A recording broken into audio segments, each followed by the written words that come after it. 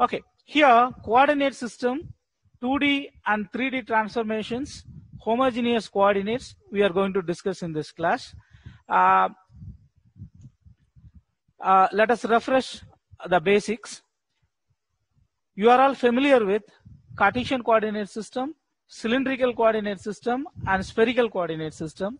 If you look at this, Cartesian coordinate system is defined by the coordinates value in x, y and z axis.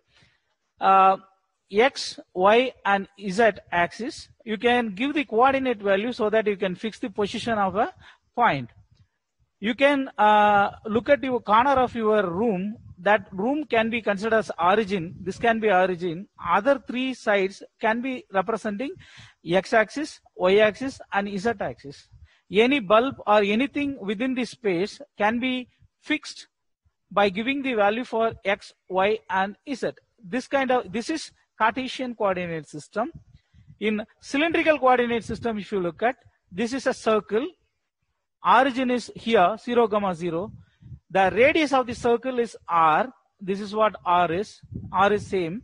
And with respect to one particular axis, in this case, I am taking with respect to x-axis, theta. This will be theta. So by varying theta, I can fix point anywhere on the circumference of the base circle. In this case, for instance, I have taken angle theta so that I am fixing this point. Now, z value is above, moving away, I mean, moving at the top, I can fix this point. This point is represented by the radius r and theta from one reference axis and how much distance above from the x, y plane. This one, is z value. So, by defining r, theta and z, you can fix the position of the point. This is a cylindrical coordinate system. Spherical coordinate system, on the other hand, by defining the radius r and theta and phi. So, uh, okay. So you are asking about uh, angle, right? So anti-clockwise is generally considered as positive. If you are making a clockwise rotation, it is negative value. That's it. Okay. At this point of time, you take that by giving value for theta, you can move this point anywhere on the circumference. If it is anti-clockwise, theta is positive. Clockwise, it is negative. That is the point. Okay. Whereas here, R value, other than that, angle with respect to the other reference axis, say he from x-axis, theta, from y-axis, what is the inclination? That will be phi. By defining the value of r, theta, and phi, you can define a point within a spherical coordinate system. Okay, so these three systems predominantly used. In this session, we are restrict our discussion with Cartesian and cylindrical coordinate system only. So cylindrical coordinate system, you just uh, see this mutually perpendicular axis, x, y, and z. Now, x-axis is this, this is y-axis. Any point is defined by fixing the value of x and y. This will be the point x comma y. Okay. At the same time, the same point can be represented in terms of polar coordinates, means r, r and theta. In this case, you take from x-axis, anti-clockwise direction we are taking. Anti-clockwise direction we are taking theta. This will be the r. The point is defined by defining, by knowing the value of r and theta. This is known as a polar coordinate system. Now, let us establish the relationship between polar and Cartesian coordinate system. This is the point. As I said earlier, by knowing the value for r and theta, you can fix the point. For the same point, x coordinate is this, y coordinate is this. What is the relationship that we can see? If you find out this right angle triangle, you just watch the movement of the cursor, right angle triangle, you can find out r cos theta will become x right? It is simple trigonometry where x equal to r times cos theta. Projection of r on x. r cos theta will be x. y is going to be r sin theta. This will be y is equal to r times sine theta. This we will give. So based on the angle if you want, cos theta is equal to x by r. sine theta is equal to opposite by hypotenuse. Therefore, y by r, you can find out this uh, relationship. In addition to that, just a moment. Ah, in addition to that, if you look at this, by using Pythagoras theorem, x square plus y square is equal to r square. Therefore, we can find out the relationship between this. Tan theta will be y by x. Tan theta will be opposite by adjacent side. This will be the another relationship you have to use to find out the relationship. Okay.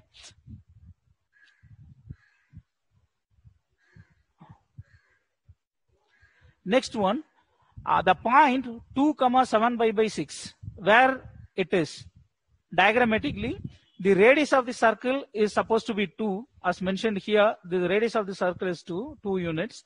And you have to measure 7 pi by 6 along this anti-clockwise direction. Okay? So by this you can find out the value x comma y. This will be the point.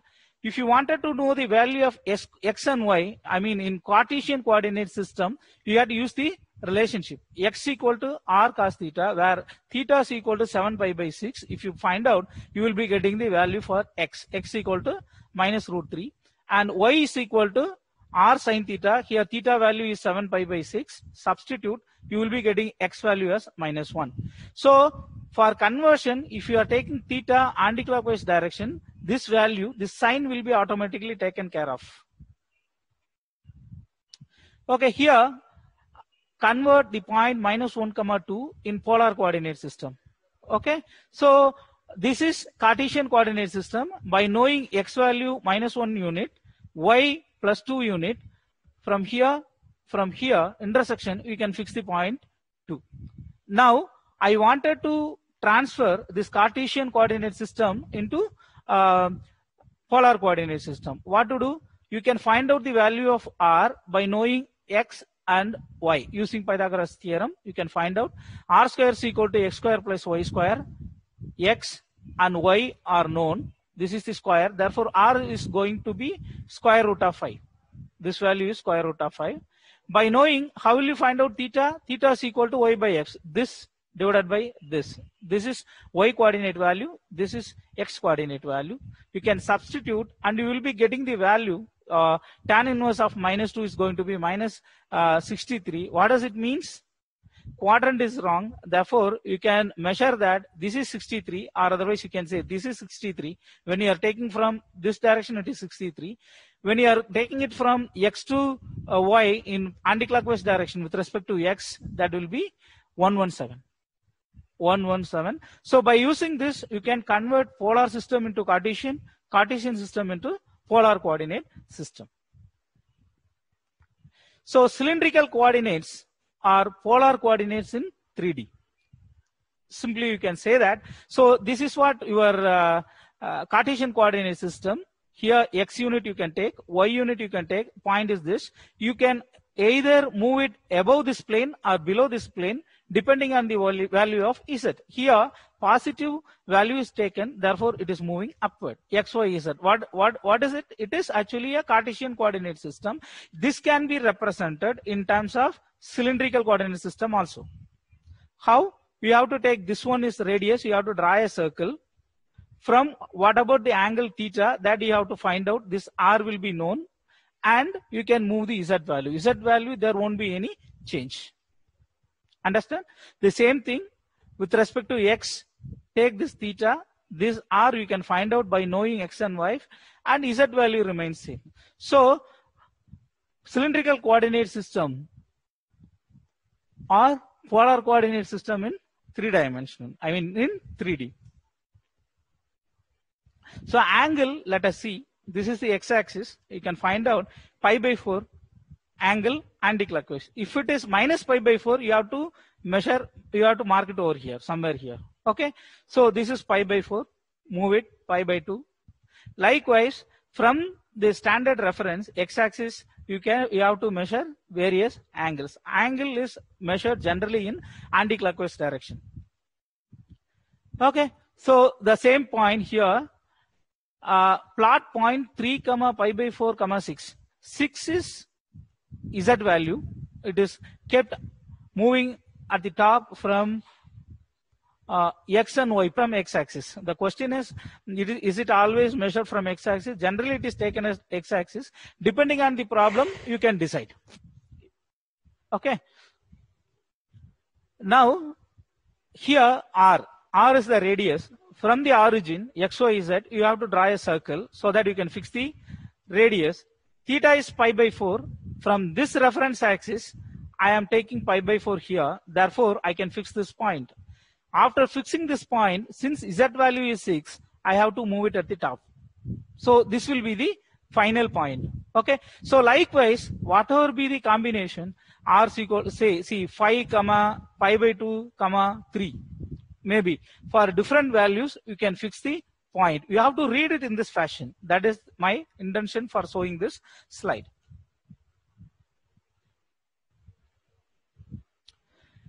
So conversion, as usual, you can find out uh, rectangular to uh, rectangular to cylindrical conversion. X square plus y square is equal to r square. This is x unit. In this is y unit. This will be the r. By applying Pythagoras theorem, you can find out x square plus y square is equal to r square. And again, tan theta is going to be y by x by referring to this plane alone, xy plane alone. And z value is going to be always same. Either it is moving upward positive value is z if it is z value is negative the point will be appearing below this plane xy plane. Okay so and again x equal to r cos theta y is equal to r sin theta this relationship is valid for this conversion also because this will be the x this is r r times cos theta will give you x projection of this on this plane okay? So similarly sin theta y, y is equal to r sin theta. This value is equal to r sin theta. Next we are looking into uh, spherical coordinate system. This is the point. Okay? This is the point. You just uh, look at the cursor. This is the point. It is making angle with phi with z axis. If i am projecting this point i mean this r radius along z axis, I have to find out r cos phi. r cos phi will give you this length, value of z.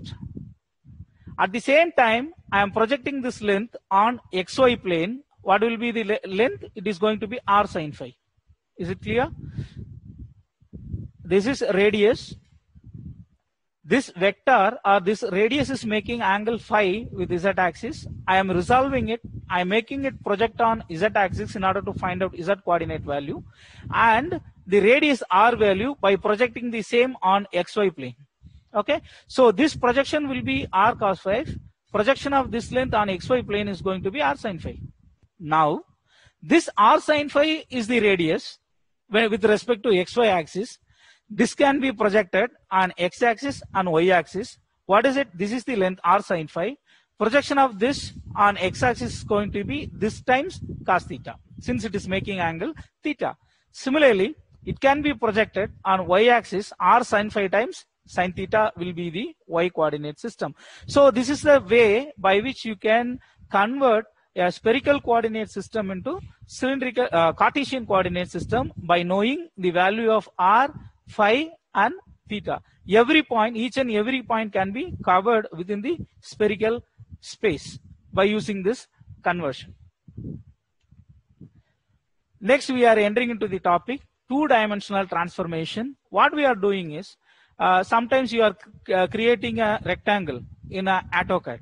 You want to move it from one location to the other location. How the movement is taking place. What is the mathematics behind it? What are all the matrix operations involved? That is what we are going to discuss in this session. Okay? So initially my point is at one place. If i am moving it to the other place what will be the new coordinate system? I can calculate it. The second way is the point can be remain same. The coordinate system you can move so that you will getting a new coordinate system. Both the way you can uh, get the transformation matrix now, matrix used in, used for calculating new position and performing new operations. The reason is that it is so simple and the computer algorithm can use it more efficiently so that we are using matrix operation for finding out the new position. Okay. So every point, every point is represented by a column vector. This is the key point over here.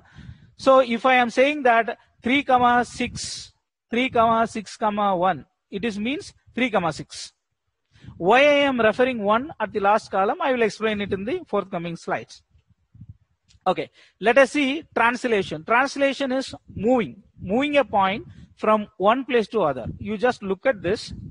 Initial point is blue color i have represented.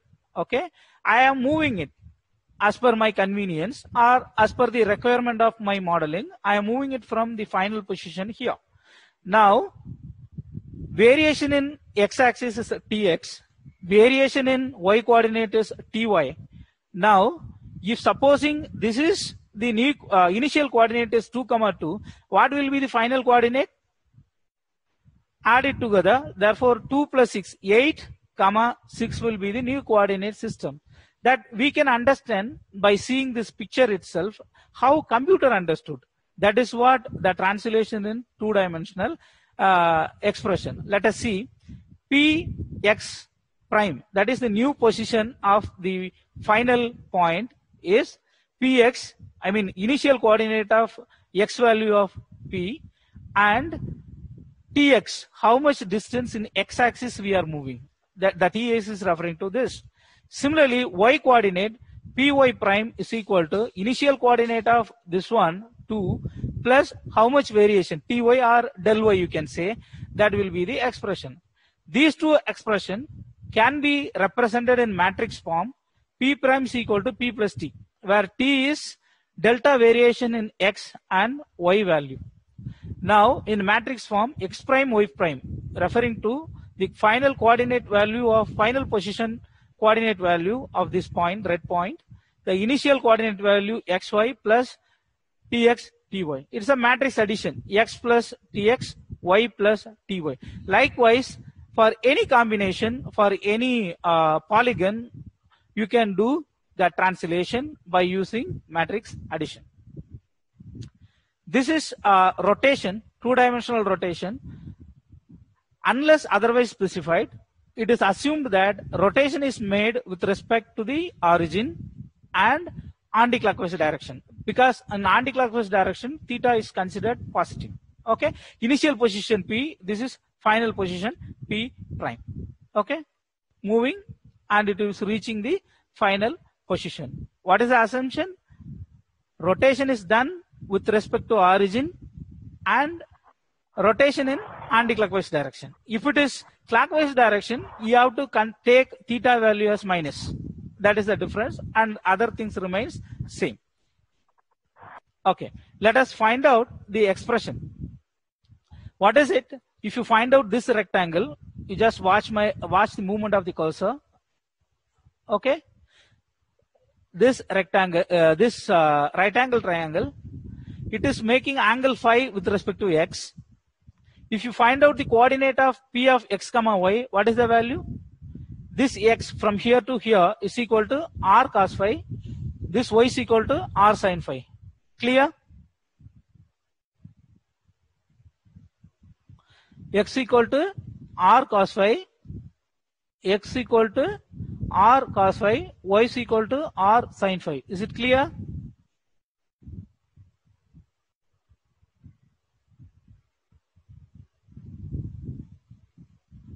Okay. So, this x equal to r cos phi, y is equal to r sin phi by considering this. Now, if you are referring this right angle triangle, look at this. Final position, with respect to final position, I am calculating this one. Okay. Now, x prime in red color from here to here. What is the projection of this r on x axis? I am interested in finding out. This x prime is equal to r times this angle theta plus phi, right? Theta plus phi. Okay. So from this you can write x prime is equal to r times cos theta plus phi. Cos A, cos B formula you can apply and expand this r cos, uh, cos A cos B minus sin A sin B. That is the expression. You will be getting this expression. And from the previous derivation, it is known that x cos phi is going to be x. Therefore, x cos theta minus y sin theta. Initial position. Uh, I mean, this position's x value, this position's y value. You can find out the new position in terms of initial position. So x prime is equal to x cos theta minus y sin theta. This is the expression. Coordinate value for new position. Again, you remember rotation is done in anti-clockwise direction with respect to origin. If you are interested in finding out y coordinate, y prime, what do you have to do? y prime is equal to r times sine phi plus theta, the included angle, theta plus phi. Again, expand sine A plus sine B, you will be getting this expression r times sine phi cos phi plus sine phi cos phi. And again, here is also the same expression you have to use. Wherever you find r cos phi, substitute x r sine phi substitute y. You will be getting this expression. Now by using this you can calculate expressed y prime in terms of coordinate of x and theta. Now final position x coordinate value is px times cos theta minus py times sine theta. Similarly uh, y coordinate value of the final position is equal to px times sine theta plus py times cos theta. In matrix form, you can write p prime is equal to r times p, where r is the rotation matrix, p is initial coordinates, x comma y, initial coordinate value. This one again the same point, anti-clockwise positive theta. If it is clockwise, take negative theta. Okay. So the rotation matrix R, this one cos minus sine, sine cos this is the value. Cos theta minus sin theta sin theta cos theta. This expression is uh, written in terms of matrix form like this. Okay? So this is applicable. You are rotating the point with respect to origin about z axis anti-clockwise direction. Okay let us look at this example. Find the transform transformed point P prime caused by rotating P. This is initial position 5 comma 1 about the origin through an angle 90 degree. What is the expression? Cos theta minus sin theta, sin theta cos theta times initial position x comma y. Okay, here x is 5, y is 1, 1 theta is 90. Here nothing stated about clockwise or anti-clockwise. So in this case, you can take, unless otherwise specified, you have to take anti-clockwise rotation, theta has positive value. If they have stated rotation is clockwise, consider negative value or otherwise it is a positive value. You substitute theta value as 90, x value as 5, y value as uh, 1. It is a matrix multiplication. You will be getting the answer. x is 5, y is 1. You can substitute. If you solve, you can find out the final position is minus 1, 5. So if a point 5 comma 1 is rotated with respect to origin 90 degree anti-clockwise direction, its final position is going to be minus 1, 5. Again, next important transformation is scaling. Okay, if you look at this is what the initial position is. This point will have x comma y. This point will have x comma y. This point will also have x comma y. Initial coordinate of three uh, vertices if you are enlarging it, it is uh, scaling p prime x is going to be sx times px. sx is the scaling factor. Here sy scaling factor in y direction. This is initial position. In matrix form, you can write p prime is equal to s times p, where p is uh, quad xy coordinates of the initial position. You can find out this where this scaling you can write sx0 0 sy this is a standard format you have to remember which is uh, while solving the problem sx sy now if sx equal to sy size remains same. Sx is not is equal to sy shape is disturbed.